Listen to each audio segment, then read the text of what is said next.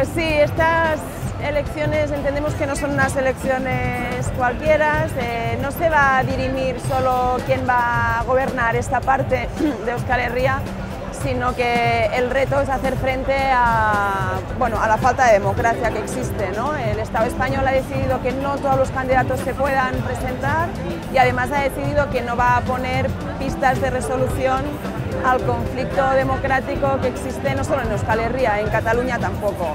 Entonces entendemos que, bueno, que se tiene que decidir sobre democracia sí o no y en este momento quien está apostando por una solución democrática al conflicto con el Estado español es de H. Bildu y no podíamos hacer otra cosa que estar aquí como izquierda independentista catalana porque siempre hemos estado de hecho.